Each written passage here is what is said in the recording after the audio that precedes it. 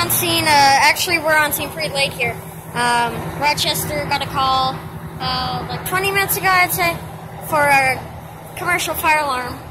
My mom thought it was Connecticut Avenue, um, but we went to Dollar General after and saw that we saw lights. So here are their trucks. Um, we're actually waiting for this one to back in um, to the station.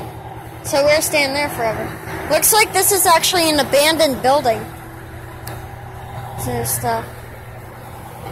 Um, you can see there's the engine from the uh, Rochester Township Station, the ladders from downtown. Uh, I wonder if it was at the barber shop.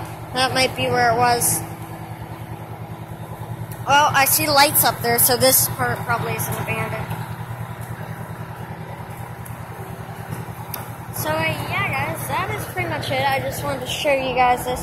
Let me get a good shot of this real quick.